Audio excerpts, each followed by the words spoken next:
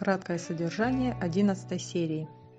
Тамара всячески противодействует врачебной практике Георгия и едва ли не срывает лечение смертельно больного мальчика, в состоянии здоровья которого намечаются улучшения. Сын Тамары Федор с особым рвением ухаживает за молодой женой председателя Прохорова.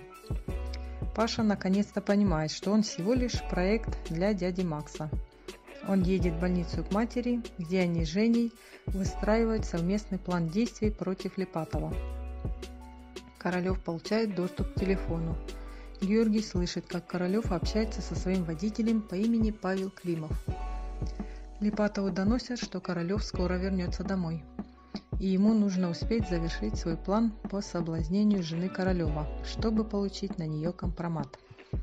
Давняя знакомая Жениной матери и подруга матери Георгия, цыганка Мирелла, уверена, что Георгий жив. Она об этом сообщает Жениной матери. Паша решает физически устранить Липатова в тире, где они любят пострелять вдвоем. Чтобы не пропустить анонсы к новым сериям, обязательно подписывайтесь на канал и не забывайте также нажать на колокольчик.